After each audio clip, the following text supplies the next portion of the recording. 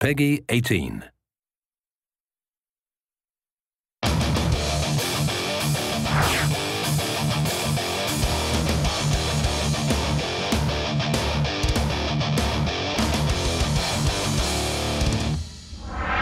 I had the best time today at the photo shoot. Uh, me and my friend Felice Herrig got to come down here together, do some pictures together, and just kind of be goofy and get to check out the video game and hang out. It was awesome.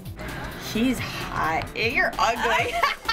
Felice and I got to play the game together, and I won the first time, and she won the second time. She couldn't handle the first loss, so she had to come back for a, a rubber match. I thought the game was amazing. I loved how you could see if you hit somebody, it would swell, but then throughout the game, it would kind of swell more. So it was very realistic. I can't keep a straight face. It's so dumb. I'd rather just punch someone. I got into fighting because I went through a big party stage. I was drinking and doing drugs. So I opened the phone book and I found a boxing gym. And I went there and I was instantly a natural. I was hooked right away. Fast hands, really dedicated. And so I feel like I owe it to MMA to succeed because it truly saved my life. My worst injury was about three months ago. I had my nose shattered, my septum was gone.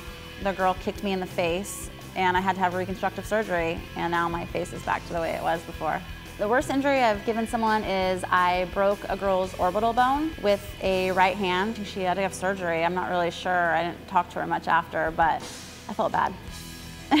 freaking overwhelmed right now. I'm sorry. There's lots of pros and cons about being a female MMA fighter. It's hard to get fights, you know. Felice and I have been fortunate. We're kept really busy compared to some of the other girls. The sport is growing. We hit it at a time where it's just booming, so I think there's a huge future for female MMA. 99% of the guys in Las Vegas are douchebags, so it's kind of hard to find one there. They're just really scared of us female fighters. MMA comes before anything, comes before anyone, it comes before anything. I don't care who you are.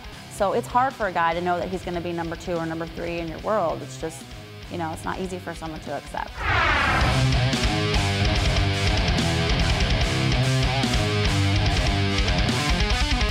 I'm really looking forward to playing my video game on my Xbox 360. I'm calling out all the guys at my gym to come play me and fight Michelle style.